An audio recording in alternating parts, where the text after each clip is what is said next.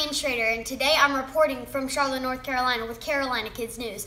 Today I want to talk about this awesome product called the Tinker Crate. You can buy your own Tinker Crates at kiwicrate.com. Tinker Crates are filled with awesome science and math projects for you to build all by yourself and make your parents proud.